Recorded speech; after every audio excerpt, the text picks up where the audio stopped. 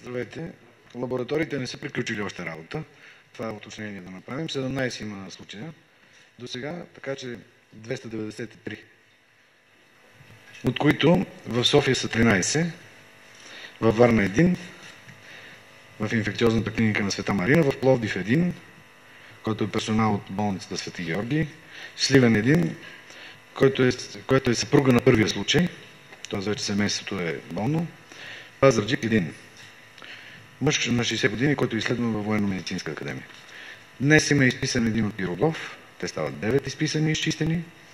И по критериите за изписване от военно-медицинска академия са изписани 4 лица, които все още не са с отрицателни проби, но с добри клинични характеристики и остават на домашно лечение.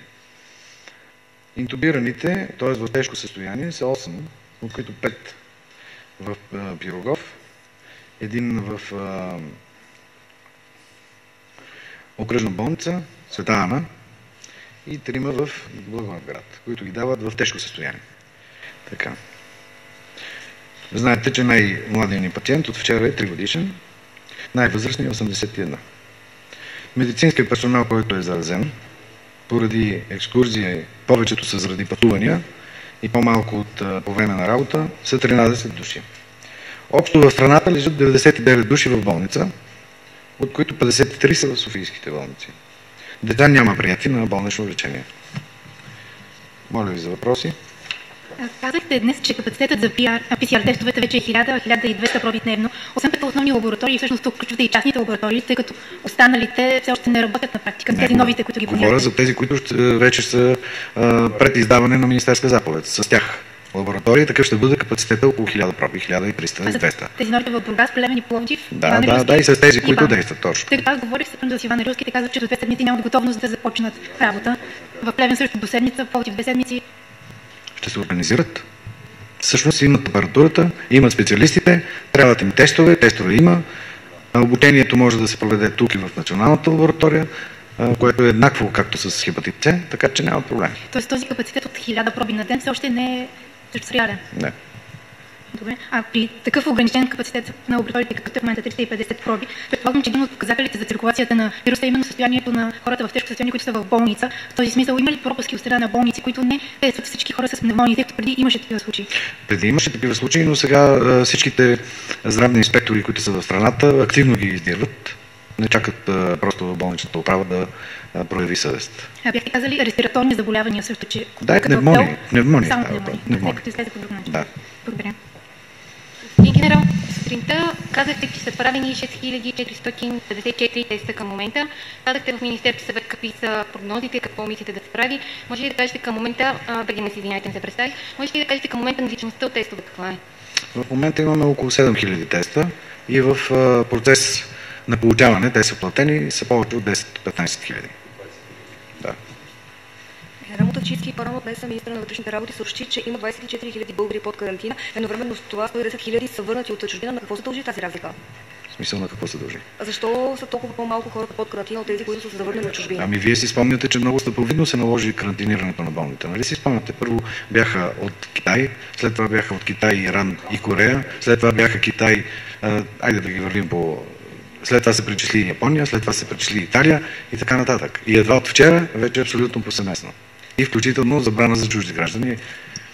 Да. Според информация, която разполагаме, има служители на МВР полицаи, които а, са заразени с коронавирус. Имате ли такава информация? Може Двама души не сме отрешили тази информация. А в този мисли, какви мерки се предприемат за дезинфекция, например, дезинфекцират ли се районите управления, в които те работят? Навсякъде, където а, има интензивно събиране на хора, районните управления са такива, както и в болниците, както и в а, другите учреждения, административни учреждения се извършва дезинфекция. А има ли информация как са се заразили тези служители? Тоест, сте били ли сред тези, които проверяват дали се спазва карантината? Не, нямам такава информация. Колко са контактните им лица? Това е епидемиологично проучване. Те са установени контактните лица. Всъщност случва от една седмица. И още един въпрос. При какви условия ще паднат... И те са вкъщи, между другото, в леки форми и не се нуждаят от болнично лечение. При какви условия ще паднат наложените ограничителни мерки?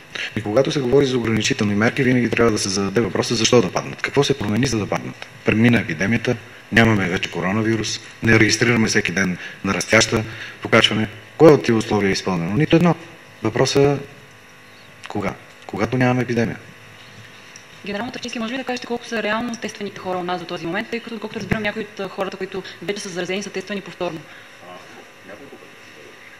Разликата между вчера обявените цифри, аз ви го казах, че поне 500 проби са направени повторни и междулабораторен контрол. Аз вчера ви го казах. Тоест около 6000 проби, така ли? Да.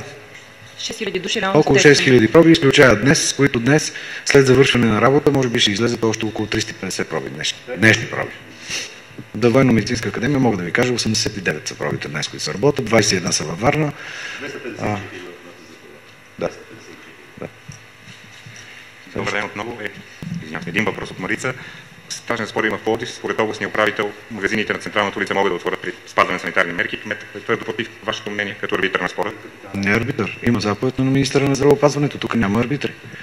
Сто- Магазините за хранителни стоки са отворени, аптеките са отворени, банките са отворени, тези застрахователните учреждения са отворени, платежните колектори като EasyPay и другите са отворени и нищо друго не е отворено. Ясно, благодаря. И втори въпрос. Жителите на Озунджово имат ли основания за опасения, тъй като там се получава огромно труфане на тирове? Знаем, бившите казарми бяха превърнати в а, гараж за тирове. Спазват ли се мерки? Има ли някакви допълнителни мерки, които се взимат, тъй като доста рисково? Те според от вчера е това нещо. От вчера е това. Да, от вчера е това нещо. И вие сами сте, вие правихте репортажи как се доизграждат, доизравняват площи, поставят се химически туалетни и други неща, които биха подобрили условията в това. Но това не е наша, наш ангажимент, извинете. Са притеснени нормално.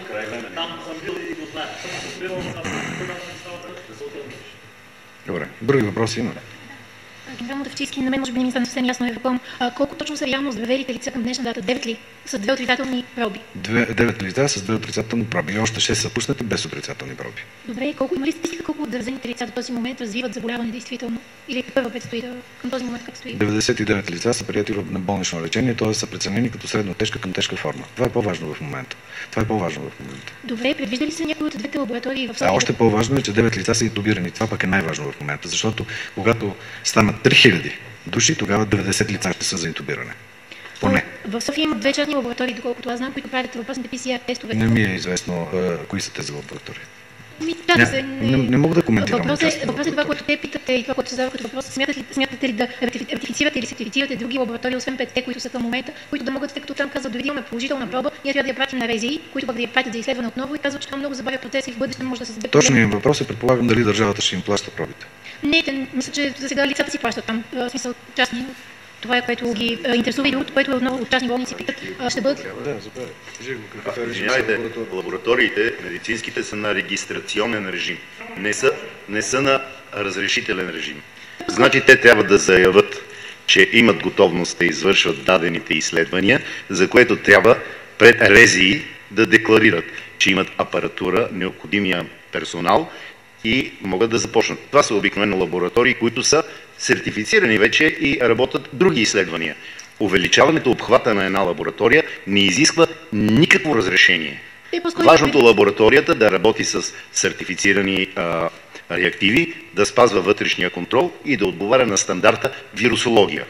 Те питат дали е възможно техните тестове, ако в момента, в който те и в момента имат. Когато имат съмнителен резултат, те знаят, така и за тестовете за хламиди, така и за всички други тестове, които извършат частните лаборатории, винаги могат да потърсят потвърждение при съмнение от референтна лаборатория. Но това не значи всеки тест да бъде изследван още веднъж.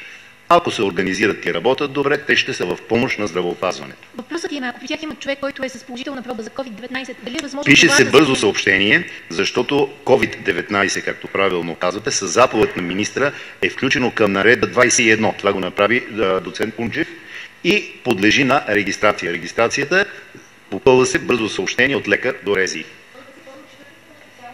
Те казват, че трябва да ги изпратят на РЗИ, А, след което разбира се. ги при вас. Мъщом се, Това казват. Кое? Те казват, ние изпращаме пробите до РЗИ, след което от РЗИ ги изпращат до ВМА а или когато до изследват урина, препотвърждаваме ли? Само при съмнение. Добре, и другото е, частни болници също питат, необходимо ли е винаги болниците, когато има открит болен от коронавирус, да бъдат, да- цялата болница да бъде под карантина, тъй като твърдят, че това им създава много затруднения. Една от частните болници казва, че около 100 часа е била под карантина. Питат, не е ли възможно само отделения да бъдат карантинирани? В тази частна болница бяха открити две независими гнезда едно от друго. И затова се удължи по- по-дълго време. И това затваряне не е за да правим неудобство на частните болници или на болниците въобще. това е време необходимо, което да се извършат дезинфекционните мероприятия. И това е в интерес както на пациентите, така на персонала. Въобще не е злонамерено действие. Бъдеще така ще. Целите болници ще бъдат карантинирани за период. Поне отделенията със сигурност, докато се дезинфекцират и се отделят болните. Може и периода да се съкрати. Добре, един, може би малко забавен въпрос. Господин Диков, Сашо Диков специално ме помоли да попитам негово име. Защо скуче може, а звуче не в парк? Вие приемете ли е шега дали? Да, сега е, той е, се шегува. Да, на малките деца нямат ли нужда през хората? Имат, но коронавируса не го разбира това нещо. Разбирате ли? И кучето също не е добро решение. Добре, благодаря ви. Цветана, разбира се, работи вече. И тя работи вече с коронавирус заразени. Но не попадаше в справката на столичното РЗИ, защото се води окръжно РЗИ. Но я има в нашите цифри. Да, въпрос от Е, читател агенция. ПИК. Може ли да твърдим, че коронавирусът е 800 до 1000 пъти по-опасен за цялото население и обществото, не само в България, но и в света на база на формулата, 20 пъти повече смъртност и 40-50 пъти по-бързо разпространение? Има ли такива модели в борбата с зараза? това вече почва да прилича на Викторина. Благодаря ви за въпроса. Дори не се затрудних да, го- да го слушам. Добре. Друго нещо имате ли? Гат, гатанка или нещо такова? Не, това е. Добре, довиждане. Mm-hmm.